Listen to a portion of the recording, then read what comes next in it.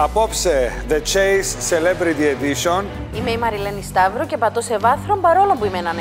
Κοριμιλιά, κοριμιλιά.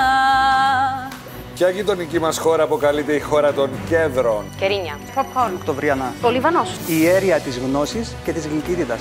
Τι φρεσκαδούρας δείχνεις, έκανες Botox. Τι έχω baby brain. Τι μαθαίνω και στα 35 μου χρόνια στο The Chase. Το